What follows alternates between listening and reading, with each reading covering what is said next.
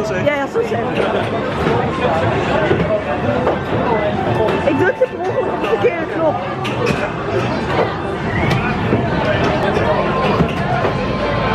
Oké, tip.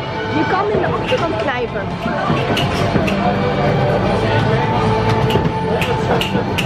Ik kom keer proberen.